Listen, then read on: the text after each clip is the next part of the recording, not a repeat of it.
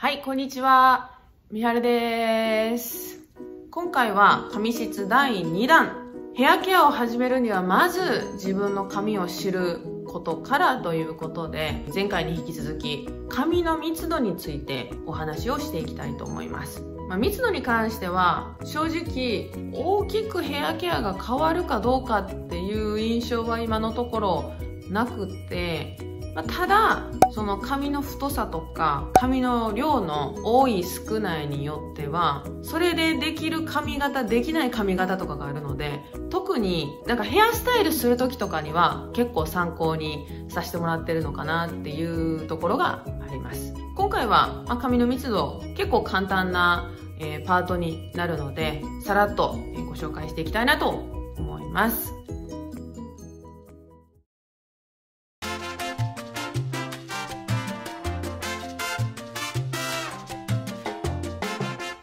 この髪の密度についてお話をさせていただく前に私ですねかなり忘れっぽいので今年の5月からアプリの方で自分のヘアルーティンを管理してます、まあ、主にその洗った日に自分で何をしたのかっていうのを細かく記録に残しておこうと思ってでそれがこちらクイーンという、まあ、カーリーヘア専用になりますね、のアプリになるんですが、まあまあ使い方としては単純に記録を残していく、まあ日記みたいな使い方ができるっていうのが一つと、あとはコミュニティにもなっているので、自分と同じ髪質の人同士つながることもできます。お互いにこういう時はどうしたらいいとか、まあ、情報交換の SNS みたいなアプリになってまして、で、そこに登録するときに、一番最初に自分の髪質を登録しないといけないんですね。で、そこで4つ髪の毛のタイプを入力します。1つ目が前回の動画でお話ししてる、まあ、カーリーヘアのタイプ。で、ここで入力するのは 2B とか 3C とかそういう細かいものではなくて、ウェーブヘアか、カーリーヘアか、コイルヘアか、この3つのどれかっていうことだけの入力になってます。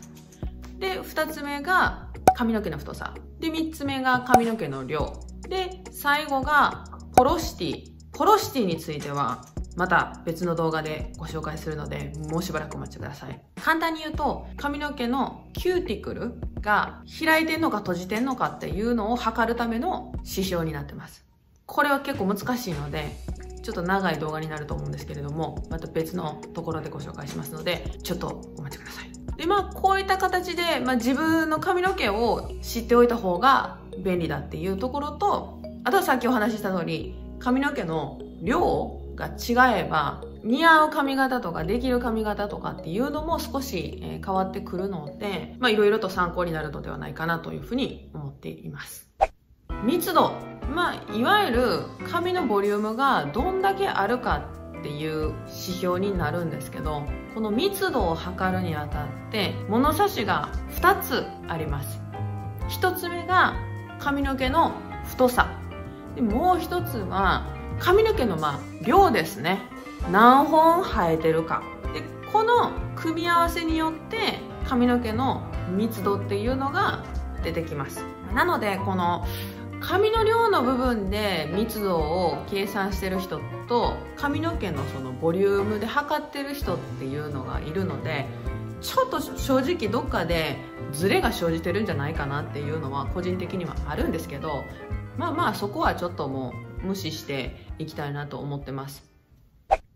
でまず髪の毛の太さからお話ししていきたいと思います。髪の毛っていうのはですね、まあ、ケラチンって呼ばれるタンパク質で構成されてるんですけど髪の毛の91%がタンパク質になります。なので髪の毛が太い人の方が細い人よりもタンパク質をたくさん持っているので太い髪の毛には保湿が必要で細い髪の毛にはタンパク質が必要だっていう一般的なセオリーっていうんですかねっていうのが存在するんです。で科学的な証拠が正直それにもないらしいので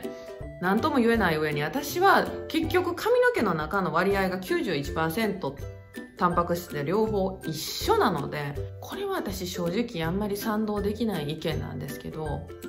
でまあその太さ細いのから中ぐらいのから太いのからっていうことで、えー、太さ小中大と3つに分かれてます。でちなみにせっかくなので英語だと細い髪の毛はファインヘアと言います。初め聞いた時全然私も理解できなかったんですけど fine というのは、まあ、細いっていう繊細なっていう意味も入っているので fine で中ぐらいはミディアムです。そのまま。 medium hair。で太い髪の毛は coarse hair 太いヘアっていうのは coarse っていうふうに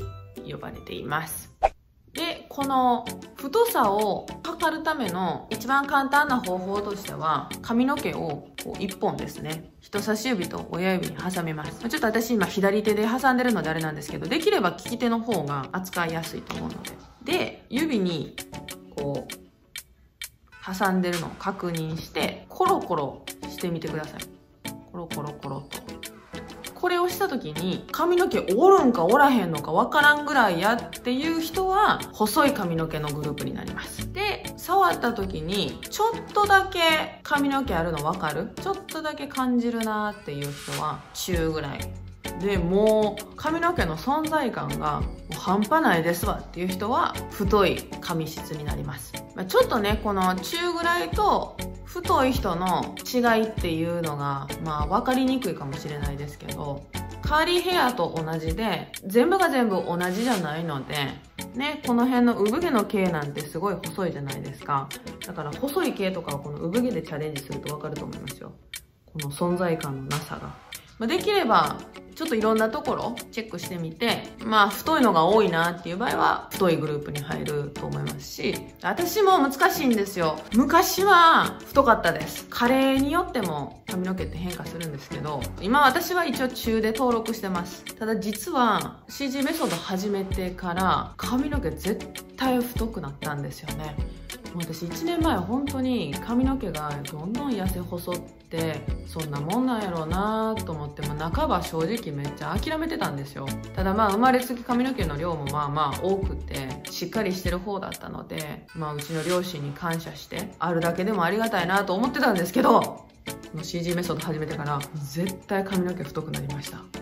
まあすいません。余談はさておき、まあ、こういった形で髪の毛の太さチェックできるので皆さんチェックしてみてください。でちなみになんですけど世界中ね皆さんいろんな人種があるのをご存知だと思うんですけれども遺伝によっても髪の毛の太さだったり髪質っていうのは違います。一応科学的に出てる数字としてはアジア系の髪の毛が一番太いっていう風に言われているので、まあ、皆さんのね DNA アジアが多いのであれば基本まあ太い方やと思ってもらっていいと思います。ただまあいろんなねあの他の人種混ざってますっていう方だったらちょっと違ったテクスチャーの方もいると思うので、まあ、そこは実際に自分で測りながらチェックしてもらえたらなと思います。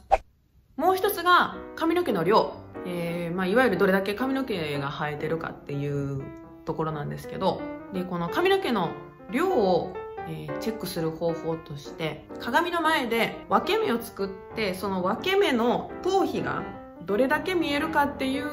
ところで確認ができます。せっかくなので私の髪の毛でちょっとで見ていただくと普段分け目にしていないところに分け目を作ってチェックしてもらえると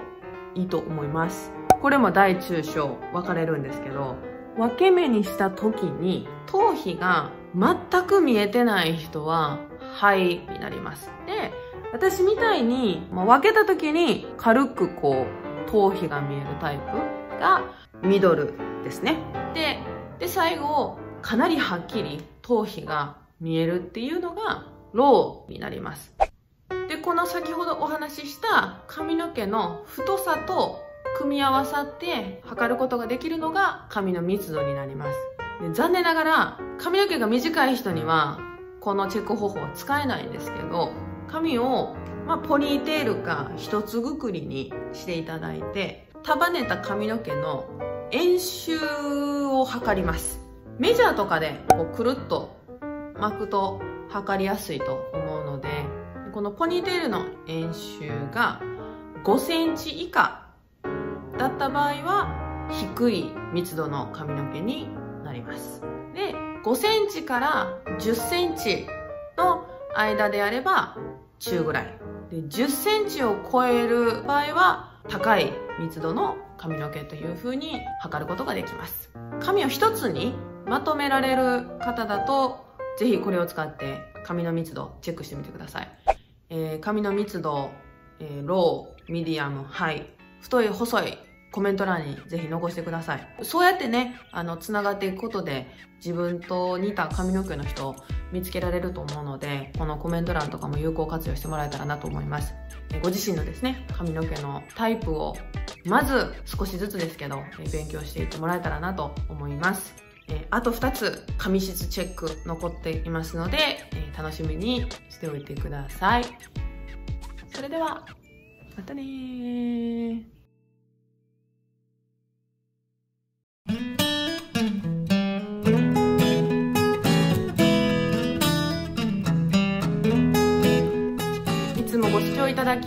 がとうございます。チャンネル登録の方もぜひよろしくお願いします。